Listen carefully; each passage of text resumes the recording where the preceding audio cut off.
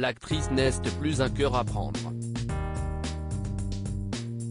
Depuis un peu plus d'un an, Rebecca Hampton partage la vie de Vincent Azé, un auteur pour le théâtre.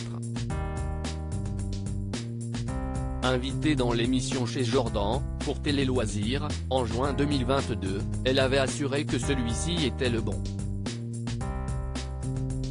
Ne souhaitant pas montrer le visage de son compagnon, elle avait indiqué « On la partage avec nos amis, nos proches, nos familles, mais ça n'a pas grand intérêt de la partager avec tout le monde.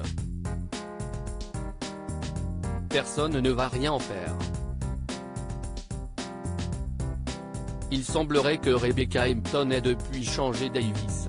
Mercredi 9 novembre 2022, la jolie blonde a pris la pause avec celui qui fait battre son cœur pour Gala. L'occasion de revenir sur leur rencontre, au Festival des héros du cinéma et de la télévision. Amusée, l'actrice a révélé, on a été présenté, j'avais une tête de petit déjeuner, pas maquillée, les cheveux en pétard. Je ne le connaissais pas et il ne me connaissait pas. Mais ça a été un vrai coup de foudre. Au cours de cet entretien, Vincent Azé a lâché quant à lui, avec humour, comme je ne regarde pas trop les séries, surtout à l'horaire de Plus belle la vie, je ne la connaissais pas. En revanche, ma mère et ma grand-mère voyaient très bien qui elle était. Si est-il la première fois que je partage la vie d'une femme que ma famille connaît avant moi? De son côté, Rebecca Hampton a glissé, je sortais d'une longue période de célibat et je n'avais absolument pas envie de rencontrer quelqu'un.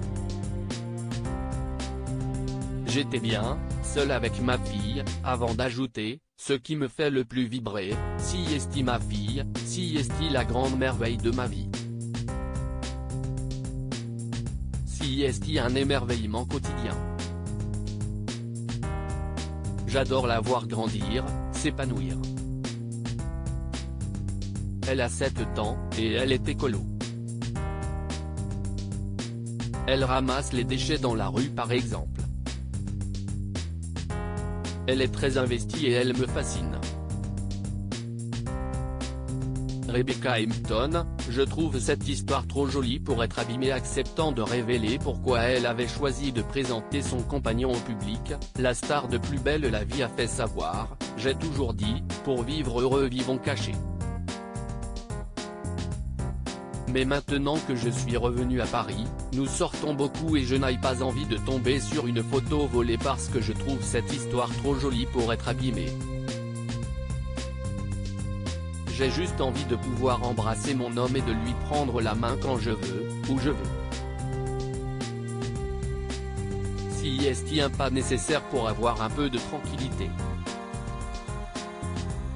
En juin 2021, pour Gala, l'actrice avait assuré que la médiatisation de sa relation avec Serge Dupire avait eu un rôle dans leur séparation.